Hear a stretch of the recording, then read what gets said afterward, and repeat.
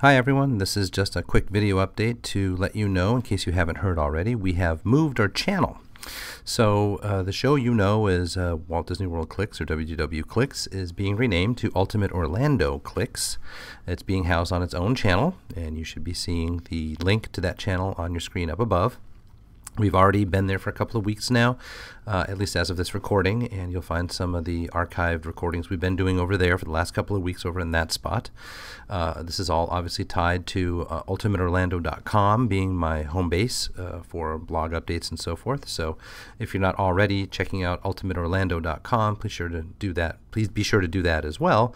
Uh, but like I said, the uh, the YouTube channel has moved. You're going to need to subscribe to the new YouTube channel.